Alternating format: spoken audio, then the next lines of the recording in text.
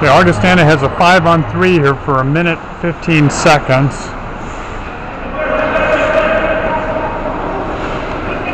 The men in blue are trying to set up a play. They got two nice shots on goal, and it's in there. Augustana scores on the 5 on 3 power play.